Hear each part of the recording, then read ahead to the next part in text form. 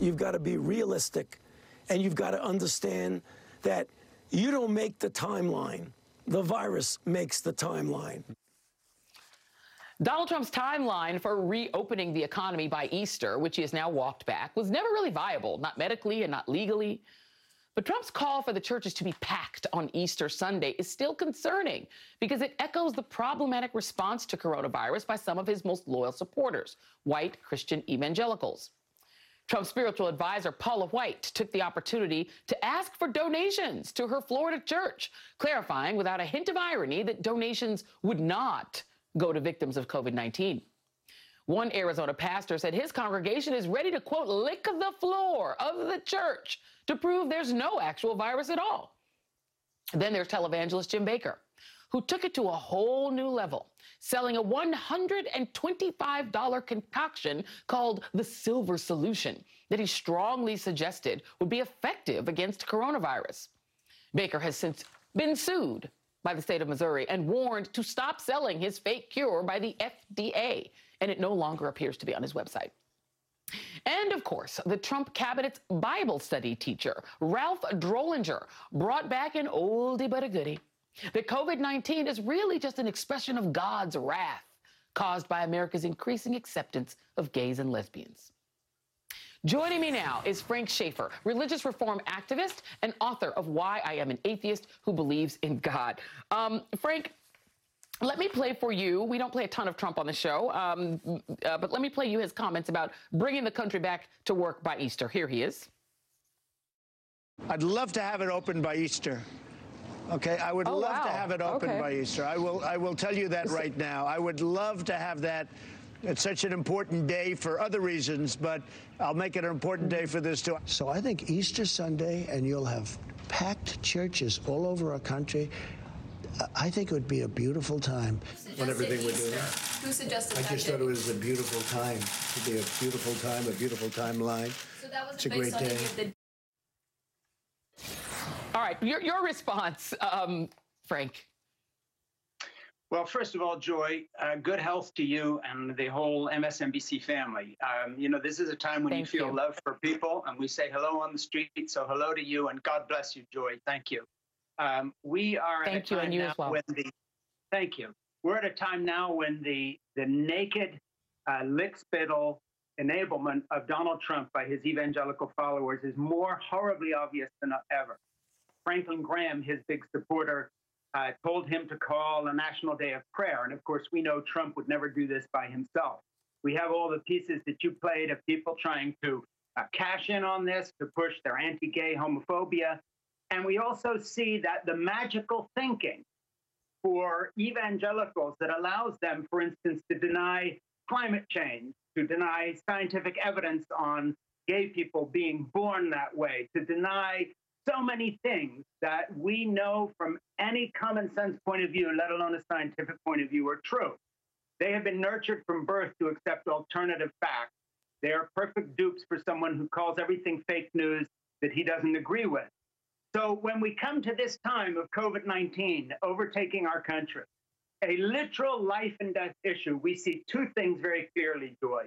One is the utter moral bankruptcy of this leader who pits himself against governors trying to save their people, as you had in your last segment. And the second is the other, the utter moral bankruptcy of evangelical, the white evangelical voter, having rented out Jesus to this moronic monster who, in this time of crisis, far from being our Winston Churchill leading us to freedom against the Axis in Germany and others, basically tells people my age, those pushing their 70s, that we might as well do what the Jews did in World War II, that the Nazis told them to do. Put, a, put on a yellow star, identify yourself as old, forget care for you guys. We're not going to make more respirators, especially not for governors that we don't like. Just go off and die so the stock exchange numbers go up and I look good. And the fact of the matter is, that is not an exaggeration. We have Republican governors, we have people who are in positions of power, and Donald Trump trying to push a business as usual agenda. And instead of evangelicals standing up and saying, wait a minute, we bought into your candidacy because you're supposed to be the quote unquote pro life president. we have now a pro death president who would rather have his economic numbers go up chasing a 2020 reelection than save lives. And the evangelicals are going along with it and giving him cover. This whole Easter nonsense was just simply more currying favor with that base. A footnote, maybe, but very and, and, telling. Uh, and before one thinks that this is simply, uh, you know, one man's sort of opinion, there's a, there is a, a, New York Times piece that says the religious right's hostility to science is crippling our coronavirus response. Uh, it reads today the hardcore of climate deniers is concentrated among people identified as religiously conservative Republicans. This denial of science and critical thinking among religious ultra conservatives now haunts the American response to the coronavirus crisis, and that is by uh, uh, one Katherine Stewart. The, the, the question I guess I have, Frank, is whether these beliefs, this this almost religious belief in Trump himself as the savior, mm-hmm. does it survive actual deaths in your own church, in your own family? This virus will not stop at the door of these evangelical churches. It'll come inside. When people they know, when their own families, when people start getting sick, can this unshakable belief in Trump survive that? Will they start to believe the science when it's literally right in front of them? You know, I'm reminded, Joy, of the passage from the Bible where Christ says, Though one come back from the dead, they would not believe. Let me tell you a parallel in answer to your question that I hope I'm wrong on. Think of all the churches that were shot up by gun toting fools recently, even one in Texas, where gun laws are so permissive that you're surprised that people don't give you a gun at birth. Did the evangelical majority say, wait a minute, they're shooting up the churches now. Maybe we won't support the NRA anymore. No, they did not. They are so in love with the, the gospel of hatred, gun ownership, protect yourself against your neighbor, keep the foreigners out, lock babies in cages. They have denied the Lord Jesus Christ and his teaching to the point where there is no redemption for the hardest of the hardcore.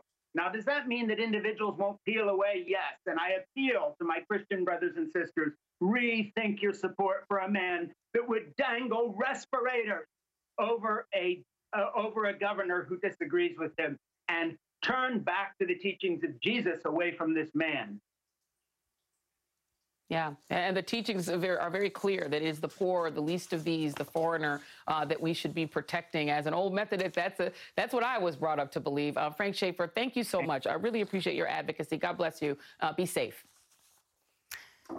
And come